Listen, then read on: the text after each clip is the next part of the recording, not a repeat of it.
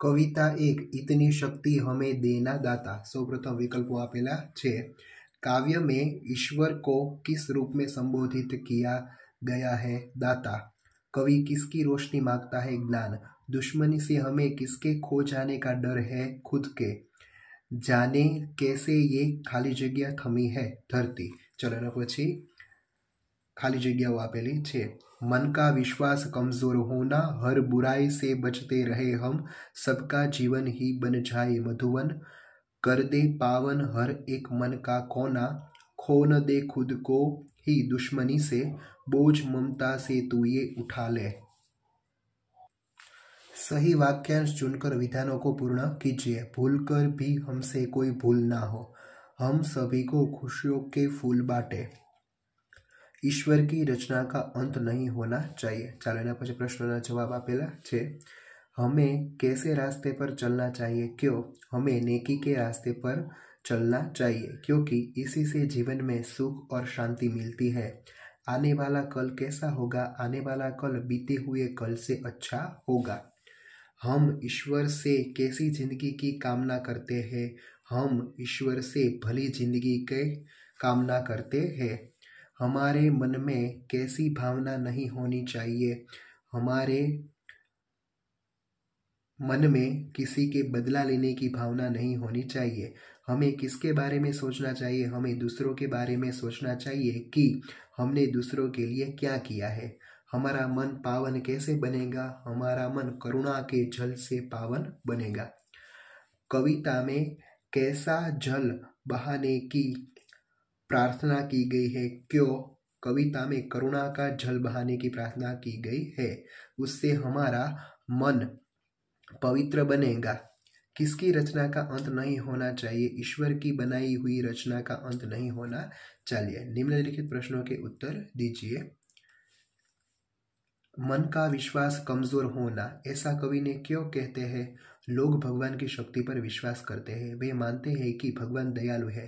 सबका रक्षक है। आज दुनिया में अत्याचार और बुराई बढ़ते जा रहे हैं। कवि भगवान से प्रार्थना करते हैं कि ऐसे समय में वे अपनी शक्ति का परिचय दे ताकि लोगों का विश्वास कम ना हो।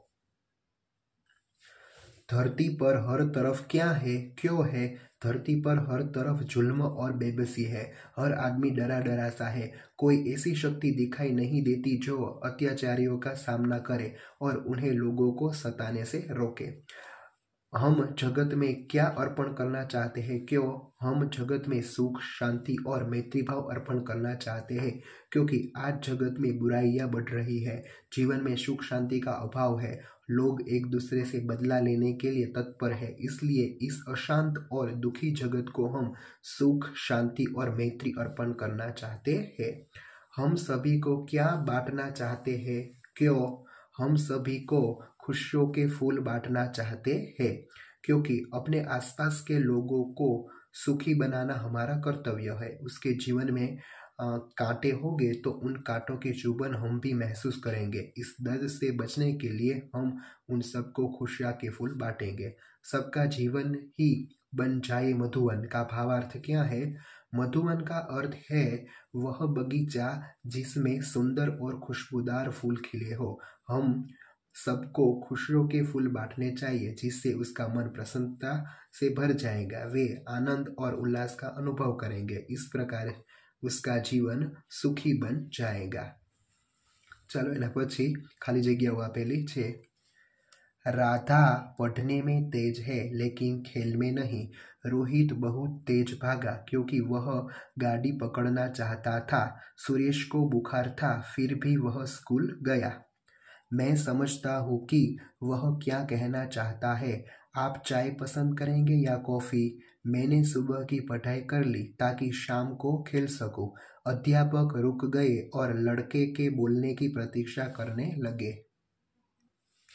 विशेषण उपयोग कर वाक्य बनावा છે. सुंदर यह मूर्ति सुंदर है चार गाय के चार पैर होते हैं उसका उसका भाई विदेश गया थोड़ा मुझे थोड़ा पानी चाहिए लाल मुझे लाल गुलाब पसंद है तीसरा तीसरा कमरा खाली है पंद्रह वह पंद्रह दिन स्कूल नहीं आया संयुक्ताक्षर में शब्द बनाकर वाक्य प्रयोग कीजिए चलो बे चे च कच्चा, यह आम का कच्चा है। त कुत्ता कुत्ता वफादार जानवर है। न अन्न अन्न खेत में पैदा होता है। ध बुद्ध, यह बुद्ध की मूर्ति है। द्व विद्वान, यह विद्वान पुरुष है। स्व विश्व विश्व में शांति होनी चाहिए। य असह्य, आज असह्य गर्मी है। म पद्म, उसके चरण पद्म जैसे है। चलो निम्नलिखित काव्य पंक्तियों का भावार्थ लिखिए। बैर हो ना किसी का, किसी से भावना मन में बदले की ना हो। हम से हम में से किसी की किसी ने दुश्मनी न हो। और अगर कभी हो जाए तो हमारे मन में उसका बदला लेने की भावना पैदा न हो। अपनी करुणा का जल तू बहा के कर दे पावन। हर एक मन का कोना है ईश्वर। तू अपनी करुणा का जल बहा कर हम सबके मन का हर कोना पवित्र कर दे। ચાલો, હિન્દીમાં ફકરો આપેલો છે, એનું ગુજરાતી કરવાનું છે. અહીં ફકરો તમને આપેલો છે. એક ચકલી વૃક્ષ પર રહેતી હતી, તેનો માળો વૃક્ષ પર હતો. માળામાં તેના ત્રણ બચ્ચા હતા. તે પોતાના બચ્ચા સાથે રહેતી હતી. એક દિવસ એક શિકારી ત્યાં આવ્યો.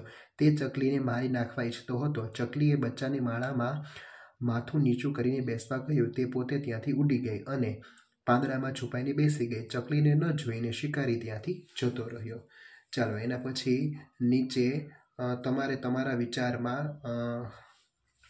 બારિશ હોની चाहिए या नहीं વિશે લખવાનું છે પેલું बारिश होने से धरती पर हरी भरी बनती है और खेत में अच्छी फसल होती है तो તમે તમારા શબ્દોમાં પણ તમે લખી શકો બારિશ तो भगवान का वरदान है उससे धरती हरी भरी बनती है और खेत में अच्छी फसल होती है पानी के बिना तो हमारा जीना मुश्किल हो जाता है पीने नहाने खाने खाना बनाने और सफाई तथा खेती की सिंचाई के लिए हमें पानी पानी यानी वर्षा की जरूरत पड़ती है चलो बीजे अपेलो है कि बारिश होने से कीचड़ होता है गंदगी फैलती है बीमारियां बढ़ती है એના વિશે તમે શું લખી શકો એ તમારે લખવાનું एक बार मैंने अपने मित्र से कहा कि अब तो इस गर्मी से जितना जल्दी छुटकारा मिले इतना अच्छा उसका उत्तर देने के लिए मेरे मित्र ने कहा कि क्या यार तुम बारिश को बुला रहे हो बरसात हुई नहीं कि सब जगह कीचड़ ही कीचड़ गंदगी फैलती है और बीमारियां बढ़ती है ચાલો ચિત્ર આપેલું છે ચિત્રનું વર્ણન તમારે તમારા શબ્દોમાં કરવાનું છે इस चित्र में समुद्र के तट का दृश्य दिखाया गया है समुद्र में एक नाव है जिसके पाल पर ध्वजा फहर रही है। एक लड़का तैर रहा है, एक लड़का गेंद से खेल रहा है, उसके पास एक महिला खड़ी है, तट पर एक लड़का पतंग उड़ा रहा है, एक लड़की हाथ में थैली लिए घूम रही है, दो लड़के रेत में घरोंदे बना रहे हैं, एक गुब्बारे वाला खड़ा है, एक लड़की गुब्बारे में हवा भर रही है, एक आइसक्रीम वाला खड़ा है, पास में नारियल का दो पेड़ दिखाई दे रहे हैं।